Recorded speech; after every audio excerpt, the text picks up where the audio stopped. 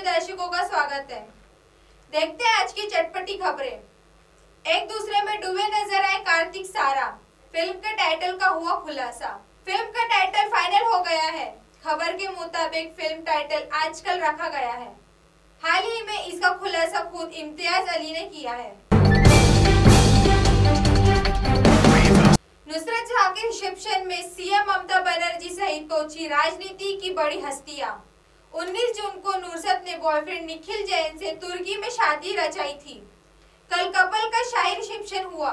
इस रिसेप्शन में पश्चिम बंगाल की मुख्यमंत्री ममता बनर्जी, सांसद मिमी चक्रवर्ती व टीएमसी नेता कल्याण बंदोपाध्याय शरीक हुए।